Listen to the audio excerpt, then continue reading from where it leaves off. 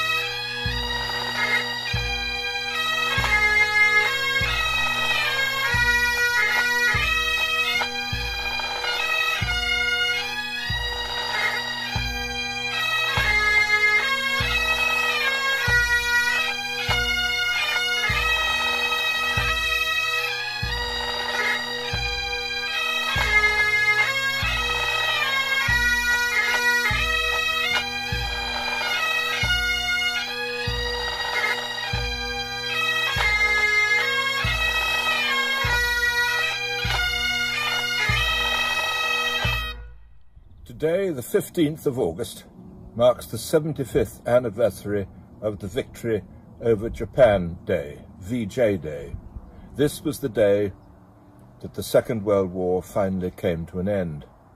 It's a great honour for me as President of the Royal British Legion Scotland and of Poppy Scotland to say some introductory words at the start of this online commemoration. In fact, anything I might say would be quite inadequate compared to the words of someone who was himself there. So I'm going to quote the final lines of Field Marshal Slim's book, Defeat into Victory, about the campaign in Burma fought by the 14th Army and the Royal Air Force. His words could just as well apply to everyone else involved in the war against Japan elsewhere in the Far East including the Royal Navy, and of course the Far East prisoners of war, and the countless civilians, including women and children, who were interned uh, under the most frightful of conditions, and who somehow survived. Field Marshal Slim's words apply to them all. He wrote, Yet there's one thought that I should like to be the overall and final impression of this book, that the war in Burma was a soldier's war. There comes a moment in every battle against a stubborn enemy when the result hangs in the balance. Then the general, however skilful and far-sighted he may have been, must hand over to his soldiers and to the men in the ranks and to their regimental officers and leave them to complete what he has begun. The issue then rests with them on their courage, their hardihood, their refusal to be beaten either by the cruel hazards of nature or by the fierce strength of their human enemy. That moment came early and often in the fighting in Burma. Sometimes it came when tired, sick men felt alone, when it would have been so easy for them to give up, when only will, discipline, and faith could steel them to carry on. To the soldiers of many races who, in the comradeship of the 14th Army, did go on, and to the airmen who flew with them and fought over them, belongs the true glory of achievement. It was they who turned defeat into victory. Eighty years on, we're proud to echo Field Marshal Slim's heartfelt words. We honour them all, on the sea, on the land, and in the air. In 2020, we all continue to face so many challenges, whether or not they're related to COVID-19. Later, we will hear the words of the famous Kohima epitaph, For your tomorrow, we gave our today, being recited by a survivor of the Japanese internment camps. As we reflect on those words, Let us hope that today and in the future we will all be able to look those challenges in the eye, not with the bitterness, rancour, and anger that seems too often to darken our lives these days, but together with confidence and good-heartedness. Let us hope we can look to the future in that same spirit of comradeship that inspired the 14th Army and all those others to see it through so bravely and successfully to the end. We salute them all.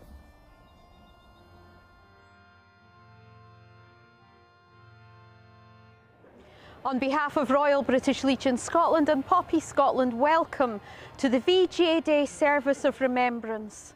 On the 15th of August 1945, Japan surrendered unconditionally to the Allies and the Second World War came to an end. Scotland had been at war for 2,173 days when the Japanese Emperor made his first ever radio broadcast and announced the unconditional surrender. The aftermath unveiled the great suffering which men, women and children who had been in the Far East uh, underwent. The world also became aware of the power of the atomic bombs dropped on Hiroshima and Nagasaki. So join us as we hear the stories of those who fought, served and were prisoners of war in the Far East.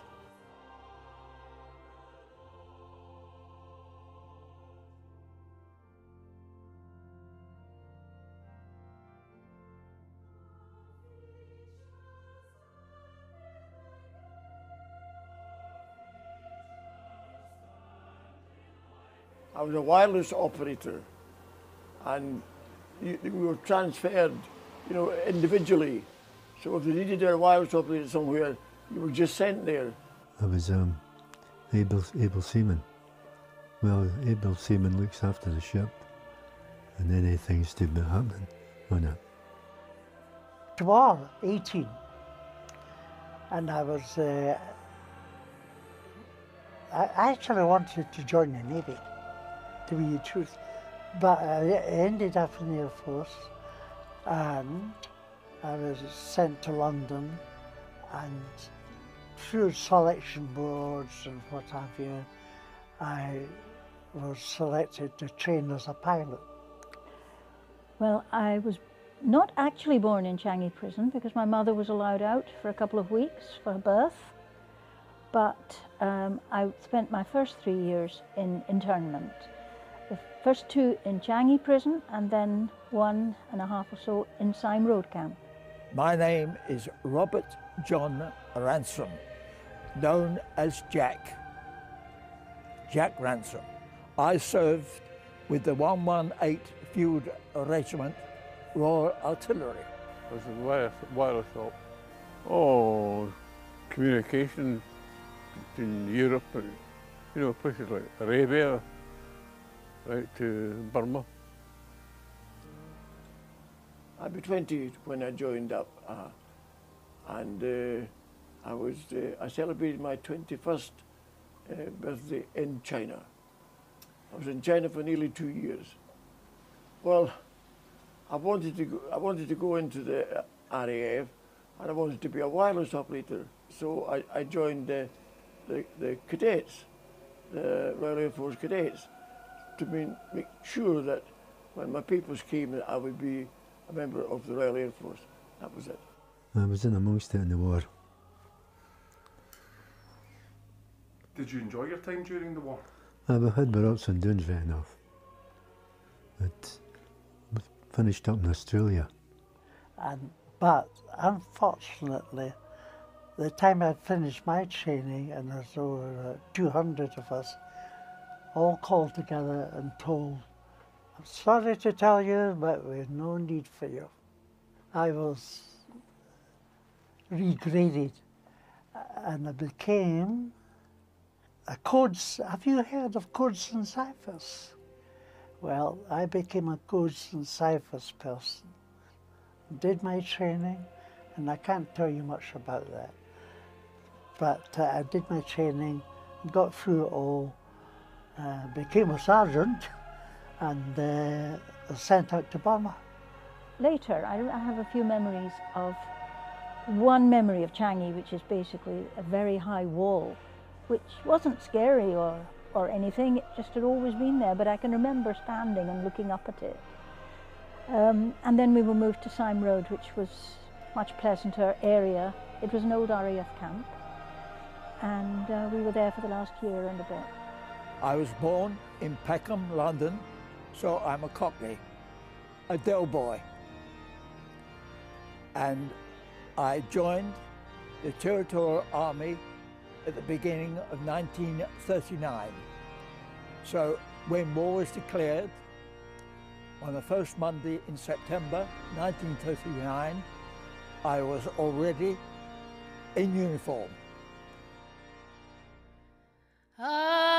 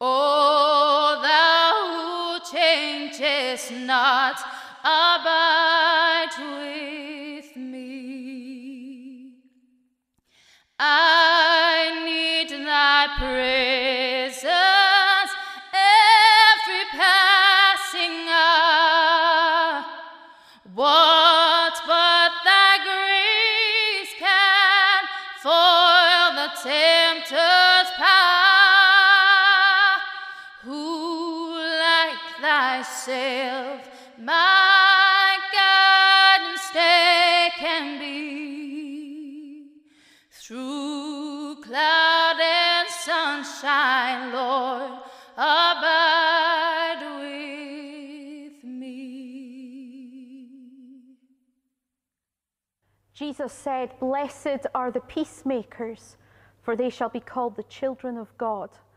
Let us pray. Loving Creator of all that is and was and will be, let us give thanks for peacemakers who reach out to those who wish them harm. Let us pray for the people who made peace in 1945. Let us give thanks for the people we cherish who bring colour and vibrancy into our lives. Let us pray for the personnel whose bravery and courage was sore tested by their service in the Far East. Let us give thanks for life in all its fullness and freedom. Let us pray for the men, women, and children whose lives were violently extinguished in the Far East. Let us give thanks for the men and women of today's Navy, Army, and Air Force. Let us pray for those who still face danger and put their lives at risk so that others might live in safety. Surround us with your love and keeping this day and every day when we feel like our lives burdened. In the name of Jesus Christ, who overcame death and walked in the garden on that day of Easter to remind us that we will never be alone. Amen. Can you remember VJ Day when it happened back in uh, 1940? Very much so, very much. It started, of course, with, with VE Day first, And then two months later on, VJ days. So we, we were waiting for it, actually. Lady, Lady Mountbatten said to us, my husband, I remember saying this to my husband says that it won't be long now. And the next week, the bomb was dropped in Hiroshima. Where were you? Where was I? In Kun, in a place called Kunming in southern China. The year was 1944, and uh, I landed at Bombay, only there two, three weeks, and was put on a train for Calcutta. And you know how long it took me to get to Calcutta on the train? 72 hours. Got to Calcutta, there for two or three weeks, off to a place called Tulihal, which is the air base, RAF for Imphal. But I didn't see any of the fighting there. Well, I was on five troop ships. Uh, and we changed eventually from in, in Aden, and uh, then we put on a boat and shipped to so-called to Singapore. But, but fortunately, the Japanese beat us to it. The boat just turned around and headed back what we thought might be home, but in actual fact it was uh, ended up in uh, Karachi. We came from, from Australia to Japan. And there was not just our boat, there was other boats as well, all coming together more or less. And I'm thinking that, uh, that was a finisher with Japan. I don't think we were, we were taken out, we never went back again. So I would take it to be it was a finisher, you know. Yes, I think meeting meeting personalities, because because we were in China behind behind the the, the lines. Uh, we were un unusual. And there was only 15 of us on our unit. And uh, we met many of the high Hadrians. Lady, Lady Mountbatten used to stay with us often. When she and her husband flew in to see Chiang Kai-shek, she would just stay with us and he would carry on to, to Chongqing to interview Chiang Kai-shek. She would stay with us. She was a charming lady. Got on fine with her. So that was that.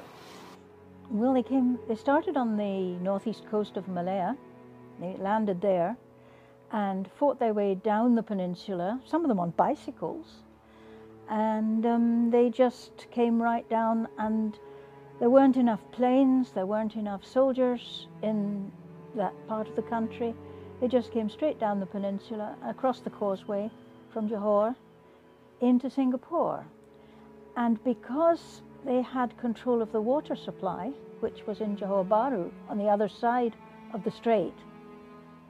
The um, people in charge in Singapore just had to surrender because if they didn't, the water would be cut off.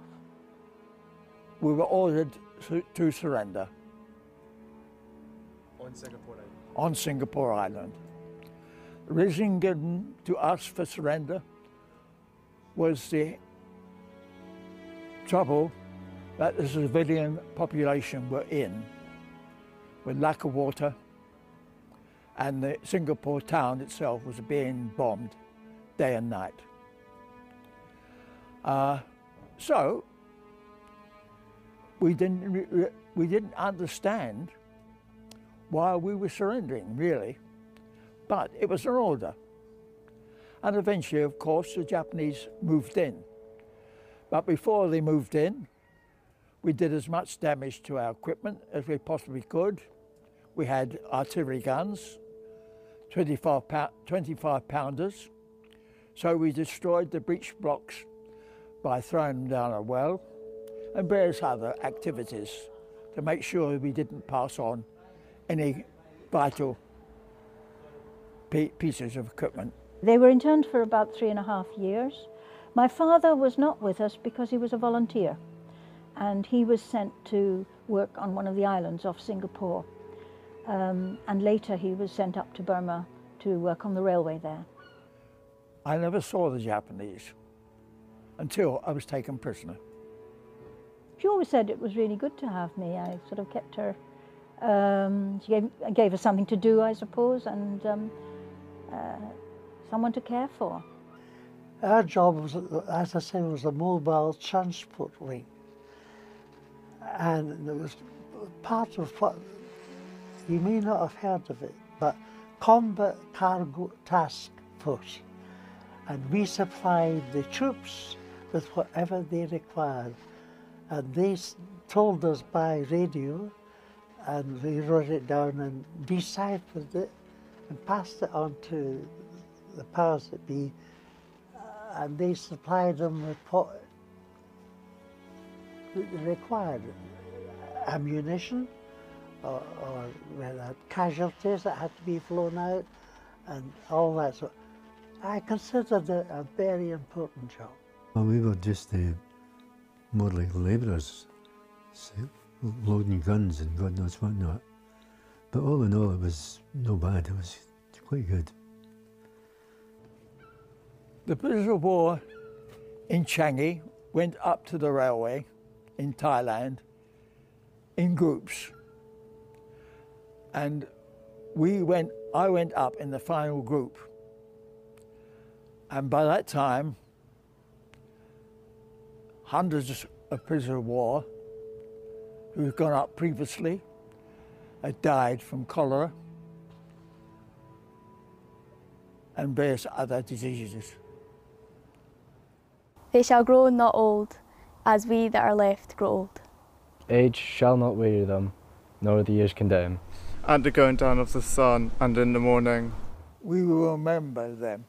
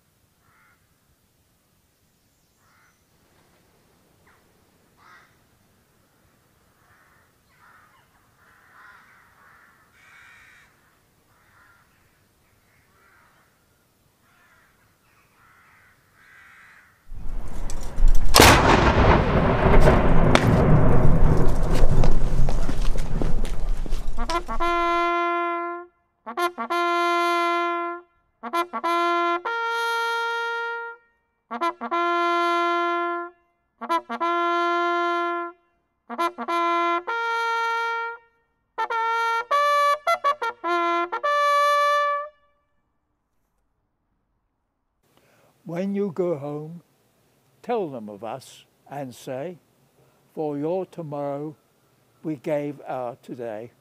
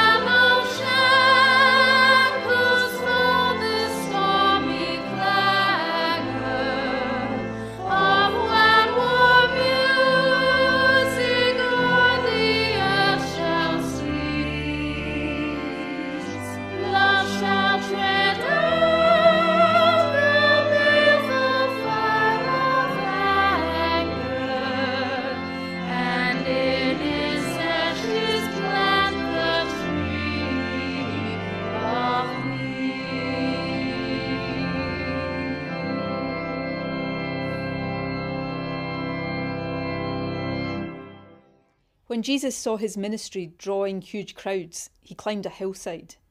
Those who were apprenticed to him, the committed, climbed with him. Arriving at a quiet place, he sat down and taught his climbing companions. This is what he said You're blessed when you're at the end of your rope. With less of you, there is more of God and his rule. You're blessed when you feel you've lost what is most dear to you. Only then can you be embraced by the one most dear to you. You're blessed when you're content with just who you are, no more, no less. That's the moment you find yourselves proud owners of everything that can't be bought. You're blessed when you've worked up a good appetite for God, He's food and drink in the best meal you'll ever eat.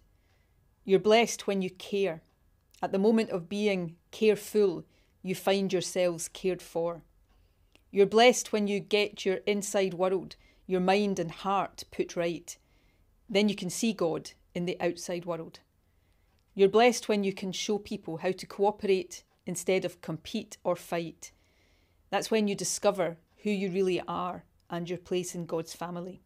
Here's another way to put it you're here to be light, bringing out the God colours in the world. God is not a secret to be kept. We're going public with this, as public as a city on a hill. If I make you light bearers, you don't think I'm going to hide you under a bucket, do you? I'm putting you on a light stand. Now that I've put you there on a hilltop on a light stand, shine. Keep open house. Be generous with your lives. It is such a privilege to be able to share some of my father's story with you as we stand underneath the iconic Forth Rail Bridge, a very special place for my father where he often walked as a young man. My father joined the army at 19 and was captured at the fall of Singapore in 1942. He was sent to work on the infamous Death Railway in Thailand where hundreds of thousands of men died. He was horrifically tortured with five other men for concealing a radio in the camp. Only two men survived the torture and my father was one of them. When he came home in 1945, he never spoke about what had happened to him for 50 years. He was so eaten up with revenge for a man called Nagase, who was the Japanese interpreter present whilst he was being tortured, that it almost paralysed him. This silence nearly destroyed our family. He discovered after many years that Nagase was still alive and was seeking his forgiveness. So my stepmother started to correspond with Mr. Nagase when we got, when I got up there to the start of the railway in Thailand at Kanchanaburi, they needed people to work on the railway near the Burma border. So we were then ordered to walk or to march from Kanchanaburi at the start of the railway up to the Burma border at a place called the Three Pagodas, about 200 miles. Well, some of us got there, some of us didn't. Eventually, I got to this small camp on the Burma border. There were some Australians in it, and with the Australians, we were put to work building the railway embankment, the embankment on which the railway was to run. I'm going to read to you today from my father's book entitled The Railway Man by Eric Lomax. Dear Mr. Nagase, I've just finished reading your book Crosses and Tigers. This is of particular interest to me because my husband is the Royal Signals officer who had been arrested along with six others in connection with the operation of a radio in the railway workshop camp near Kanchanaburi in August 43. My husband also had with him a map of the railway. He is the man you describe on page 15 of your book being tortured so terribly. His mother did die at home in Edinburgh one month after the fall of Singapore. A relative has told me that she died of a broken heart. My husband already knew who you were, having recognised you from the article which appeared in the Japan Times of 15th of August 1989. He is most interested in having contact with you for he has lived with many unanswered questions all these years, questions to which perhaps only you can help him to find the answers. Maybe you also have questions about the Kanchanaburi radio affair. If you're willing, perhaps you would agree to correspond with my husband. My husband has lived all these years with the after effects of the cruel experiences he suffered, and I hope that contact between you could be a healing experience for both of you. How can you feel forgiven, Mr. Nagase, if this particular former Far East prisoner of war has not yet forgiven you? My husband does understand the cultural pressures you were under during the war, but whether he can totally forgive your own involvement remains to be seen and it is not for me, who was not there, to judge. Yours sincerely, Mrs. Patricia M. Lomax.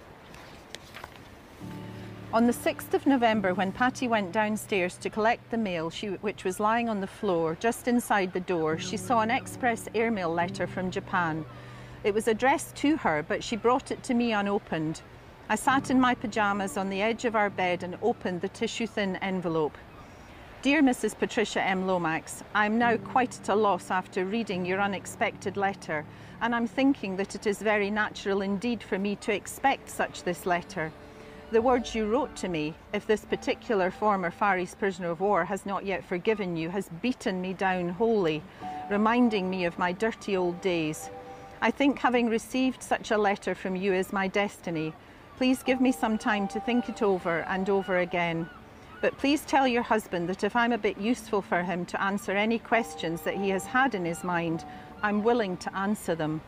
Anyhow, I'm beginning to think that I should see him again. Looking at the picture, he looks healthy and tender gentleman, though I'm not able to see the inside of his mind.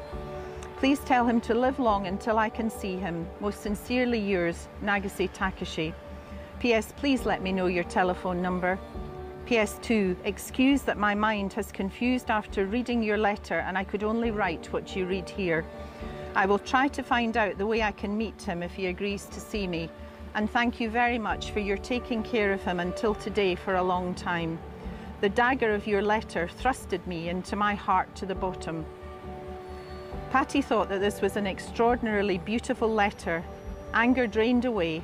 In its place came a welling of compassion for both Nagase and for me, coupled with a deep sense of sadness and regret. In that moment, I lost whatever hard armour I had wrapped around me and began to think the unthinkable that I could meet Nagase face to face in simple goodwill.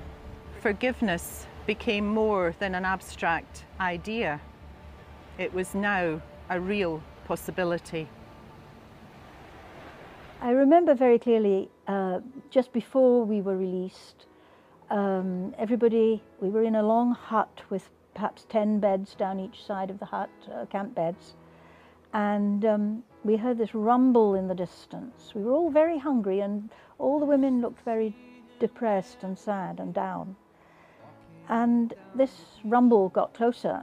I didn't know what it was, but everybody else got up and walked out of the hut, so I did too. And overhead, quite low, there came a plane, and it had RAF symbols on the wings. I didn't know what it was then, um, but everyone around me was saying, thank God, thank God. And as they flew over us, the, sort of hatch opened on the bottom of the plane, and thousands of pieces of paper fell out and fluttered down, and uh, everyone was picking them up and saying, thank God, thank God, thank God. And these little flyers said, the war is over, Japan has surrendered. I'll tell you something about that which is not top secret. I deciphered the signal which said that the atom bombs had been dropped and the um, consequences of that. Do you know this what I feel about that? A lot of people are controversial about the atom bombs, but that's the best thing that happened because it saved thousands and thousands of lives, not just ours, but Japanese as well. So uh, it stopped the slaughter and then things gradually wound down. We didn't know about it. We knew nothing about VE Day in England. We didn't get that. Rumours, of course, you get rumours when you're a prisoner of war, but you don't believe them. So VE Day, we didn't know nothing about. We didn't know about successes, but we thought, we thought that things might be going out that way. We thought that was the end of the war there. We, we realised that was the end of the war and great joy. No, we didn't realise at the time about the atom bombs that had been dropped on Hiroshima and Nagasaki. Um, and um, we, we learned about that later, much later in my case. I was working on the defence tunnels in Singapore. The Japs sent guards, the Japanese guards, came for us every morning at daybreak. You work from daybreak to, da to, to night time, all day, day, seven days a week. One day we got off, it was the Emperor's birthday, at one day in the year. Worked all that time on the defence tunnels.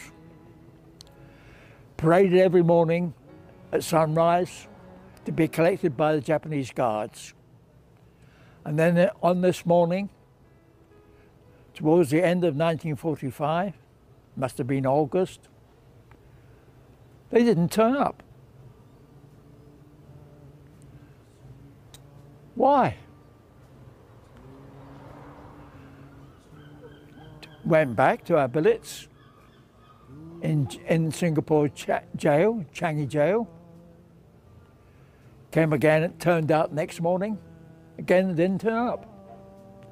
Then the rumours came. Somebody said the Japanese were about to surrender. We didn't believe it. But eventually, of course, it came true because the Japanese didn't turn up again. First real signs was a paratrooper walking up the road towards the jail. What did he say to you? I said, Good morning. What did he say to you? He just looked at me. I was a scarecrow. I was dressed in rags. Hardly anything on. No shoes. Only weighed six stone. We all weighed, That was our weight, six stone. We were, we, we hadn't, we were fed on one bowl of rice a day. What did that mean to you to see that American paratrooper? Well, I don't know what, what, whether it was American or British. I was just pleased to see somebody. The fifth, I always look upon the 15th of August as the day, and I always consider that as the day. Uh, oh yes. Oh well. Well, you you met people, and you lost people, lost your lost your best pals and things like that. Uh, I d none of them left that I know of, but we didn't have many. Except, I suppose you could say my wife was one of them, because we got married well just after VJ Day. Some soldiers came with, with trucks after a while, and these trucks had like seats around the back, and the soldiers helped us onto the trucks, and they drove us to Raffles Hotel. But it wasn't a luxury hotel at that point in time, it was more of a transit camp.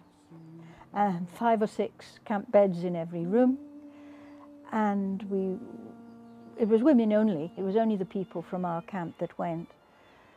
And um, I remember sitting in a small garden and just enjoying the grass and the flowers and, and the things that were growing in the garden and playing there. Holding on to revenge and hatred for someone else only destroys the person who generates it, and we witnessed that as a family. It is astonishing that with help, my father managed to get to a place where he could forgive Mr. Nagase and be released from the terrible pain he experienced. The Japanese found better rations for us. They were still in charge, the Japanese. They found some other items of clothes, mainly coloured t shirts.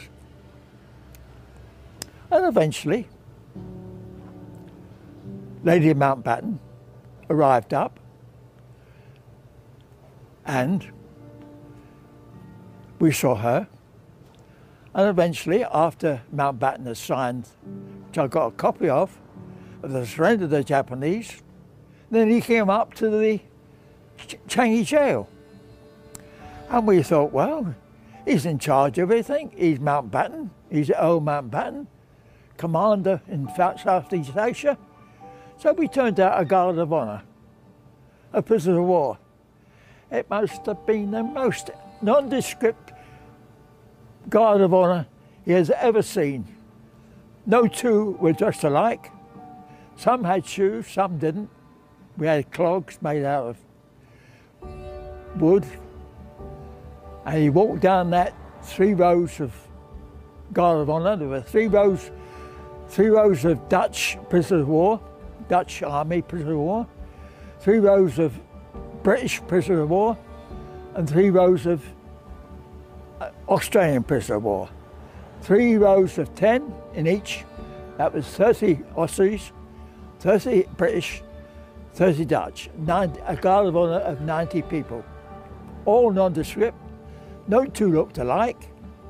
Some had footwear, some didn't. Some of us were only weighing six stone. And he walked down that guard of honour as if he was at Buckingham Palace. And all I got when he stopped in front of me was a white uniform gleaming with medals and brass and buttons. The war in the Far East is often referred to as the Forgotten War. But let us not forget. Let us remember the service personnel who fought and endured in the most unbelievable circumstances. Let us remember the prisoners of war whose captivity was very difficult. And those who survived spent a lifetime living in the trauma of their experiences. Let us remember the exceptional circumstances afterwards as a result of the atomic bombs being dropped. And as individuals and communities and nations, let us commit ourselves always to work for peace and hope and justice. Let us be a light shining in the darkness and always work to make the world a better place. So let us remember. Shortly, we're going to see a real life clip of my father meeting Mr. Nagase in later life in Thailand, where this act of forgiveness took place. Forgiveness is the greatest gift that we can give to another human being. It is also at the heart of the Christian gospel and the greatest gift we can receive from God. Sometime the hating has to stop. May I touch your hand? Oh, yes. No, no, I mean, when you are tortured, you know, Oh. being tortured, I measured your pulse. Yes. And uh, Yes. your heartbeat is very smooth. So I am very well, much You relaxed. see, these are, the, these are where the broken bones are. Mm, Yes, I remember. Yes. Very sorry. very sorry for you. Well, we've, uh, we both survived. As a member of the Japanese army, we treated your countrymen very, very badly and against the humanity. I yes. re- realized that. So when I repatriated from uh, here to country, and uh, I got uh, mm, various uh, sufferings in my heart and mind. But I tried. And whenever I think of you, why you are born in this world? what purpose? Yes. For what purpose It's you a are born? difficult, a difficult question to answer. Yes. I'm very, very sorry. Well, thank you very much. I'm. I think I can die safely. What was it like getting home? Oh, very nice, lovely, lovely. You hadn't, I hadn't seen my folk for nearly four years. And they hadn't seen me, of course. I, I was offered, when you were being demobbed, they said, would you like to continue in that kind of work? And they said, what does that mean? Well, you could go to Washington or someplace else. And I thought to myself, eh, someplace else. So I said, no, thank you. Uh, I, I, all, I've been away from the, the house for four years, over four years, in Portobello, and uh, I'll, I'll, I'm going back. So I went back to Portobello. Have you had a good life, Edwin? Yes. Had my ups and downs, right enough. But um, not bad. Can't complain. Uh, When I came back, I married the girl that I got engaged to during the war. A Scottish girl. Came from Peebles in the borders. I lost Helen, unfortunately. Uh, Helen in 1974.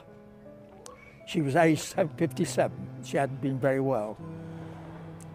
So I lost Helen. I remarried a second time to Joyce, who also had been in the, in the uh, RAF. Helen had been in the RAF. Joyce had been in the RAF. So I married Joyce, and Joyce died in 08. Came up to Largs. I married Mary from Argyll. So I've been married three times. I've had an excellent life. Uh, uh, known my, I knew my wife from 10 years of age at school. And uh, after the war and that, we eventually got together because she was very keen on dancing. And she was a lovely dancer. But she died just over a year ago. Uh, well, well, my wife and I were trying to remember because she was in the WAAF. Uh, I- and uh, we, we, we we became well friends, if you like, at, uh, in Dundee. got married in uh, 60. Oh dear, dear, dear, dear, dear. Should know that. Uh, married in 51. Married in 51, two children. Nancy was her name, uh, who were married in uh, 1951. Jill came along in 1953. Got that right too. Kenneth, I've got, I've got a son, yes. I've Got a son who came to, two years after Jill, called Kenneth. Had a very good family. Both, both our own family and both my in-laws do. Tremendous. Can't complain.